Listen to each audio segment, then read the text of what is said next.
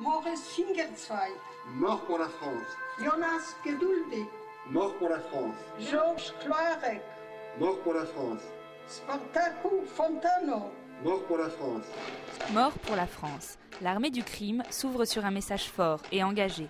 1944, des résistants communistes immigrés dans un Paris occupé. 22 hommes et une femme représentent le groupe Manoukian. Ils seront condamnés.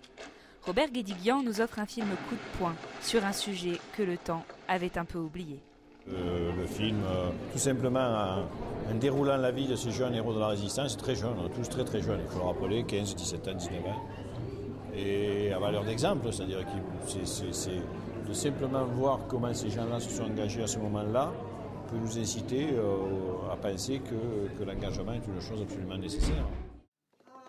L'engagement de Robert Guédiguian ne se limite pas à ses films. Il a participé aujourd'hui à un débat sur le pays, de ses origines, Arménie, quelle mémoire en partage. Habitué du festival, puisqu'il était déjà présent en 2006 pour présenter son film Voyage en Arménie, il est revenu cette année avec un réel plaisir.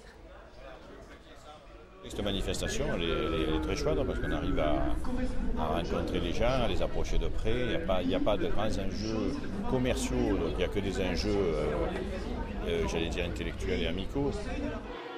Personne ne connaît personne ici. Mon frère, c'est Marcel Rayman. Qui est Simon Qui a quel âge? Bientôt 15. Je suis très émotionnée. Mais c'est bouleversant. Et heureusement qu'il y en a eu beaucoup comme ça. Ça m'a fait pleurer de rage en fait. L'auteur l'a dit, c'est un petit peu romancé, c'est c'est quand même des faits qui sont présents, qui, qui se sont passés, qui sont réels et qui font mal quoi.